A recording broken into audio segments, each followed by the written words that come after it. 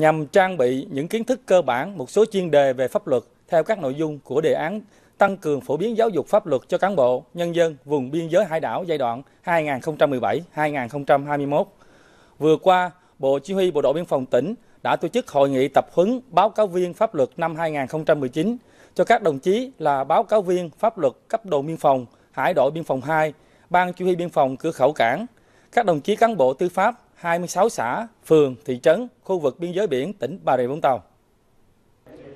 Tại buổi tập huấn, các báo cáo viên đã được nghe Đại tá Nguyễn Văn Thống, Phó Chính ủy Bộ đội Biên phòng tỉnh giới thiệu một số nội dung cơ bản về nhà nước và pháp luật, Hiến pháp nước Cộng hòa xã hội chủ nghĩa Việt Nam 2013, Luật biên giới quốc gia năm 2003, Công ước luật biển năm 1982 và Luật biển Việt Nam năm 2012. Nghị định 71 ngày 3 tháng 9 năm 2015 về việc quản lý hoạt động của người và phương tiện trong khu vực biên giới nước Cộng hòa xã hội chủ nghĩa Việt Nam.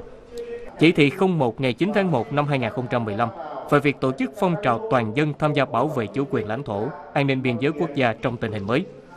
Chuyên đề những vấn đề mới về đấu tranh bảo vệ chủ quyền biển đảo ở nước ta hiện nay.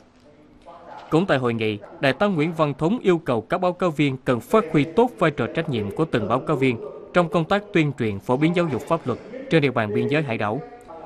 Nêu cao tinh thần chủ động sáng tạo, tích cực tham mưu hướng dẫn các cơ quan chức năng và các tập thể cá nhân trong triển khai thực hiện đề án. Đồng thời trên cơ sở các nội dung đã được tập huấn, tiến hành tuyên truyền phổ biến giáo dục pháp luật cho cán bộ và nhân dân, góp phần nâng cao hiệu quả công tác đấu tranh bảo vệ chủ quyền biển đảo trong tình hình mới.